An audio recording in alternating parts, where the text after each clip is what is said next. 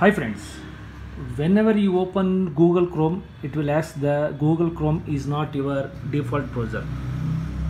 For this, one small settings has to be done. I will show you how to do this. First, go to the start and then select the settings. In the settings window, you will get an option called apps. In the apps, you need to select the default apps. In the default apps you scroll down. In this it will by default it's selected as Microsoft Edge. Click this Microsoft Edge option. Then you will get to select the app.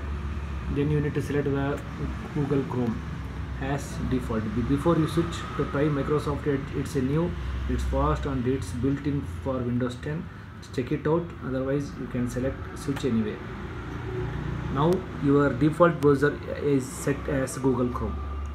Thank you.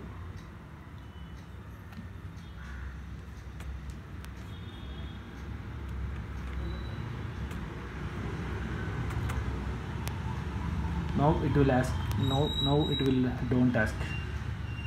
Thank you